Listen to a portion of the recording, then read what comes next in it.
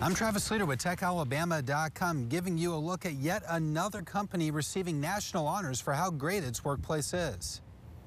Located in Cummings Research Park, Huntsville defense contractor nLogic is the only Alabama company to make Inc. magazine's 50 best places to work. The list features businesses hiring up to 500 workers while focusing on certain criteria like financial security, performance evaluations, and employee feedback.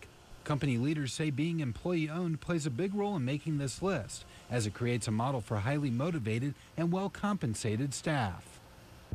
For a closer look at nLogic and a link to current job openings, you can go to techalabama.com.